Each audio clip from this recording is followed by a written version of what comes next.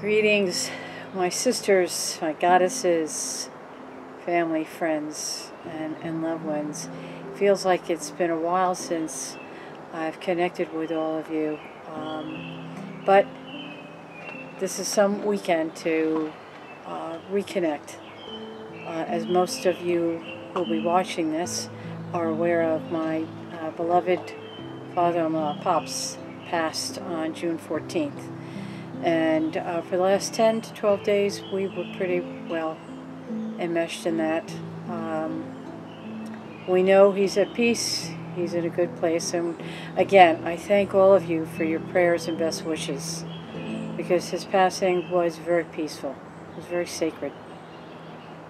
So, with that being said, I thought this would be a great weekend. New moon, solar eclipse, summer solstice, and Father's Day tomorrow um, as I had originally planned June 20th to be the Lemurian Sisterhood gathering, obviously those plans were changed. So here I am, reaching out to you from my heart with a, a hopefully inspiring message uh, this incredible weekend. This Father's Day weekend is actually a mother of a weekend. And by that I mean this new moon, the solar eclipse, takes place under the Great Mother which is the sun sign of Cancer, whose ruling planet is the moon. The rise and awakening of the feminine force of fierce love is a hallmark of our times. As I read, since 2018 there has been the series of eclipses in Cancer, and this last solar eclipse in Cancer will take place today. Plus, this is sandwiched between the lunar eclipses on June 5th and our upcoming July 4th, the birth of our nation, which uh, United States of America, the birthday takes place under the sun sign of Cancer again. With our beloved moon obscuring the sun, the lunar theme is primarily about family, ancestors, roots, and history. The solar eclipse will create a ring of fire, which coincides with solstice, where the longest day will be here today up in the northern hemisphere, and for those in the southern hemisphere, the shortest day. All this followed by Father's Day tomorrow. As we have been experiencing in 2020, this weekend is most assuredly following suit of unprecedented times, events. However, with the Great Mother in center stage, let us remember incredible things are born from chaos.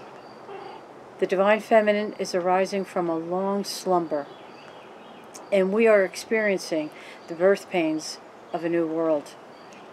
Let us get back to our roots, connecting with our ancestors who want to assist and guide us through these amazing, challenging times, especially the ones who have overcome great challenges in the past.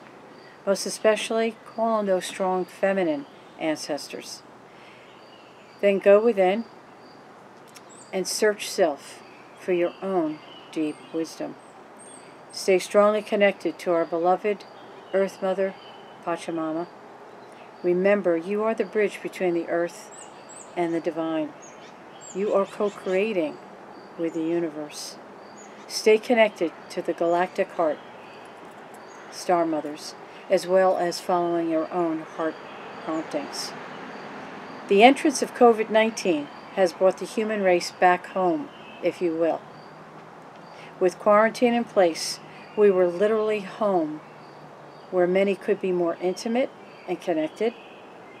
Look at all the public figures, such as our teachers, co workers, and famous ones, such as many artists, politicians, late night hosts, all joining us from their home with kids and pets in view. As this happened under the sun sign of Gemini, the sign of everyday people, this humanized both power and celebrity alike. Another feminine quality we have witnessed is the tsunami of gratitude shown to those human family members, such as the nurses, uh, delivery people, essential workers who went out daily into the trenches ensuring our needs were met, such as feeding, cleaning, comforting, and so many of, of these to make our lives seem normal. Now, these same people, underappreciated in the past, have risen to new heroic status. In our forced isolation, the values of the divine feminine created far greater unity, compassion, kindness, appreciation. As the slogan, we are all in this together, has is and has been and will continue to be the mantra of the day. Additionally, being home meant more of us spent time out in our garden or created one, like George and I, uh, making needed home repairs, uh, baking once again, and in truth, many families began sharing meals and conversations once again. Suddenly, we have more time to stop and smell the roses, if you will, bringing greater joy and beauty to our lives. Thus, greater clarity and more time for self care, as well as seeing truths. Many more began to see things that they did not have time to see before inequalities, abuses. Suddenly, the people became aware of the inequities, and a mass outbreak of empathy has and continues to take place. Again, the qualities of the Great Mother who loves and cares for all her children. Most definitely, our beloved Earth Mother and the elements also received tremendous benefits during this quarantine. Our oceans, the rivers, the land, and air. They began to rebound, as did members of the animal species. I like to share just a little more facts about that uh, through an author I appreciate, April Kent Elliott. She wrote, Four weeks after our quarantine, the river Ganges, perhaps the world's most sacred yet worst polluted river, was running clean and clear all the way from the Himalayas to Calcutta. Major cities around the world like Los Angeles, New Delhi, London, Seoul, and Beijing have seen their bluest skies in years. The ocean has rebounded. Without the waste and noise of our vessels, sea life is thriving. On tourist free beaches, endangered turtles and crabs are breeding again. We can make a difference when we slow down, enter the moment, and open our hearts. Look what we can do together. Bottom line is that in bringing the Great Mother energies back into the collective as well as individual, we are beginning to regain balance, harmony throughout. And as much as the masculine is about logic, force, and power, which is necessary, it is glaringly apparent to the collective that the divine feminine qualities such as feelings, intuition, which open and soften one's heart, must be integrated with the masculine to bring about true balance, harmony, and peace, both within and without. I have some simple but powerful exercises I would like to share with you this new moon, solstice, and lunar eclipse. Each one has its individual message uh, and healing process. And I, I hope that as we do this together, those that feel called to, that we bring about together the desired clarity, love, harmony, balance, and peace within. And thus, as within, so without, as the saying goes, then we bring that to others as well. These are the cards, uh, the oracle cards with healing exercises I pulled for this powerful weekend. Uh, they are from the oracle deck Earth Warrior by Alana Fairchild. And as always, I was told to pick four, and I'll share each one. Uh, four is a number for Earth, the four directions. Um, four is a number of foundation, good beginning, organization. Just felt right. So as I go to begin to share that with you, I'm going to ask you to just begin breathing. Let's take four breaths. and hold it for four counts. And we'll do it four times. How's that? All right, let's inhale for the count of four. Exhale for four. Again. Exhale. Third time.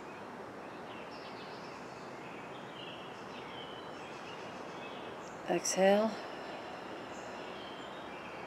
And last time.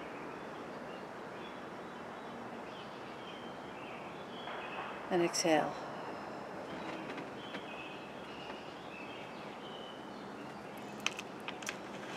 The first card that I pulled, which all of them are amazing,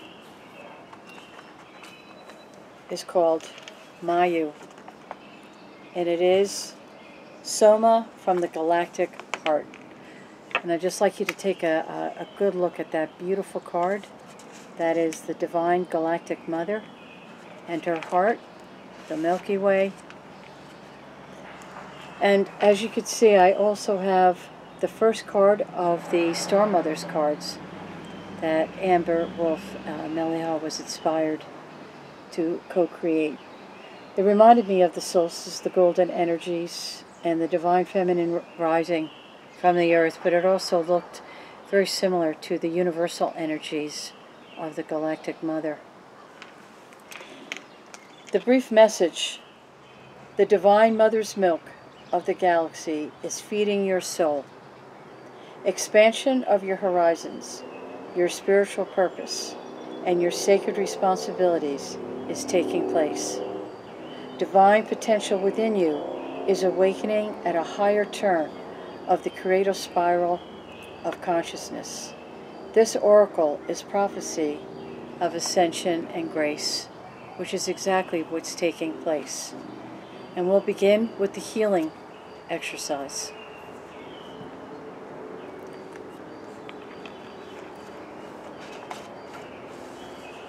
The next card I pulled, number 17, Padme Sundari, which is out of darkness, the light is born. And that's such a beautiful picture. I love the rainbow energies, her heart. She's holding the lotuses in each hand while the other one is open to receive and the other one is out giving, receiving and giving. That's what it's all about. And I just love this. I love you just to gaze at the card a little bit. I'll read the message as you look at this. The light is powerful enough to survive exposure to the darker side of humanity and remain pure, empowered, and effective. Trust in your spiritual purpose as a light in this world.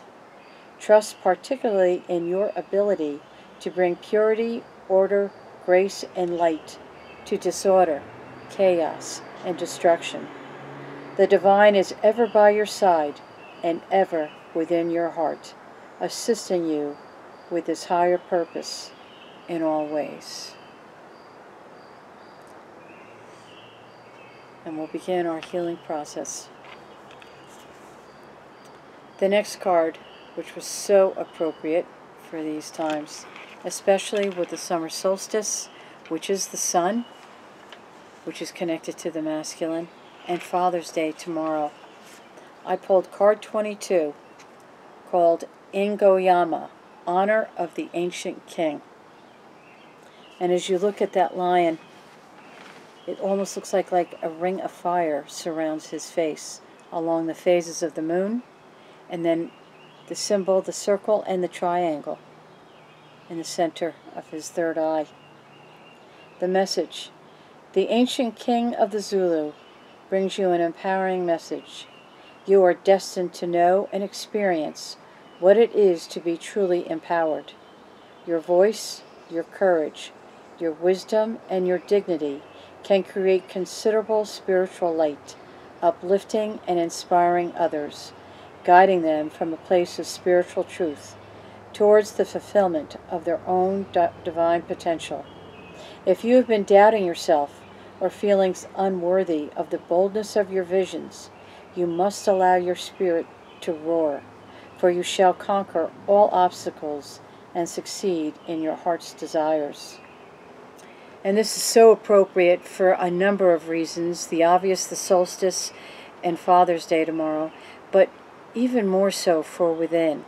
Because in order to have true peace, harmony, love, and abundance, we must balance both the masculine and the feminine within. This card inspires one to raise their own masculine to the sacred masculine, which is discernment, wisdom, guided action. And that's what we must do because when the sacred masculine is balanced and integrated with the divine feminine, the divine feminine within can flourish. She guides the sacred masculine with her intuition and her own wisdom and love. And that is taking place within each of us. And so it is. And now the healing exercise.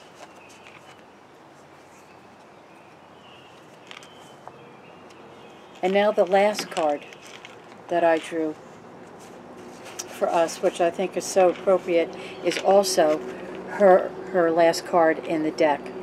And it is number 44, which is the number. I pulled two master numbers, 22 and now 44. 22 is about building, um, and 44 is about mastery, the ascended masters, angelic.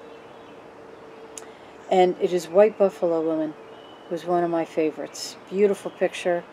And if you can see, it is a beautiful white, rare buffalo in the center of her heart. The buffalo sacrifices itself completely for the survival of the tribe. Hopeful heart, see her sign. Her message, have hope, for you are pure of heart, and White Buffalo Woman appears as the divine sign of rebirth and harmony. She is the way shower who lives as one with Great Spirit. She teaches the practices that will free and empower us all. She heralds the birth of the divine upon a new earth. You are held in her heart, and you will recognize her beautiful, gracious spirit in your own. I thought these were so prophetic and so appropriate, these four cards. And we'll begin our beautiful healing exercise with the great white buffalo woman.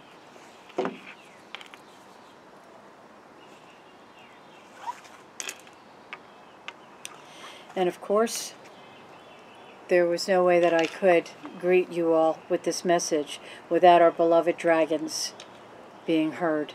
And so, with my wonderful dragon book and oracle cards from Diane Cooper, Diana Cooper, they told me to just pick one because it would be one's very, very special message.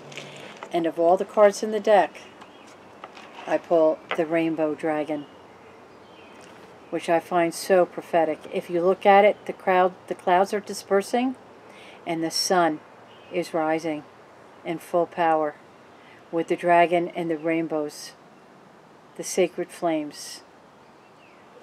So powerful. And I am going to read the full message. Rainbow Dragon brings the leap of joy that opens new doors.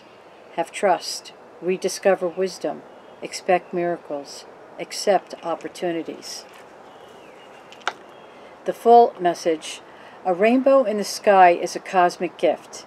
If our heart leaps with joy and gratitude when we see one, the universe opens new doors for us. Glorious rainbow dragons carry the same promise. When they come to us, a multicolored mystical flame ignites within us. This automatically attracts something of significance from the universe towards us. In addition, rainbow dragons will take us to the mystical pot of gold that is said to await us at the end of the rainbow. This golden gift is our own ancient wisdom, which has been waiting for us to rediscover it. With it, we know how to take knowledge and use it for the highest good of all.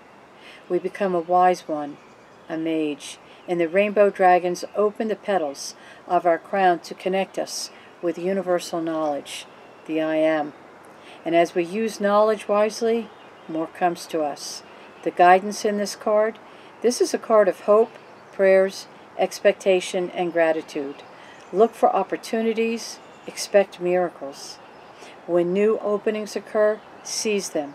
Sometimes you may hardly dare to believe that good fortune has sought you out, so make sure you accept it consciously and unconsciously.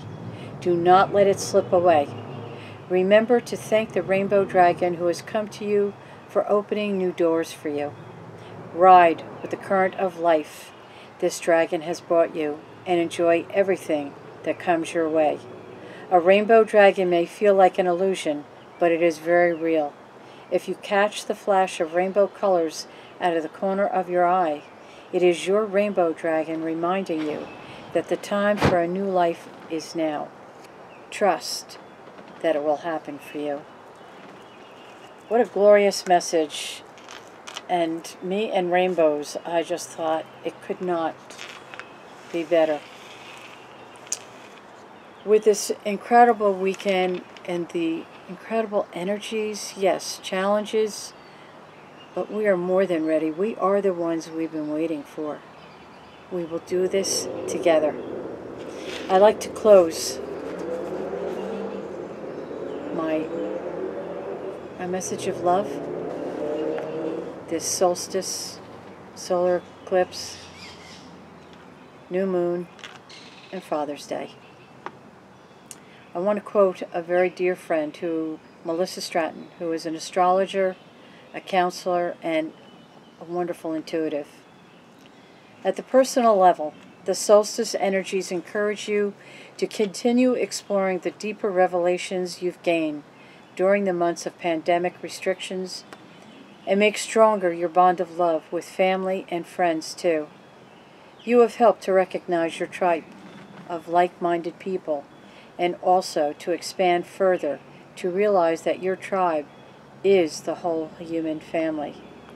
There is strong energy urging you to move beyond old limiting structures and to leave hatred and violence behind and embrace love one another as a plan of action for life. And quoting another Cancerian born, Nelson Mandela, who said, our human compassion binds us the one to the other, not in pity or patronizingly, but as human beings who have learnt how to turn our common suffering into hope for the future. I hope this message does empower, does inspire, uh, certainly convey my love and appreciation and for all of you, and that I do feel we are all together. We are one heart, one voice, one breath, one mind. We are one. And together, we are victorious. Again, many blessings this incredible weekend. I love you. Thank you. Namaste.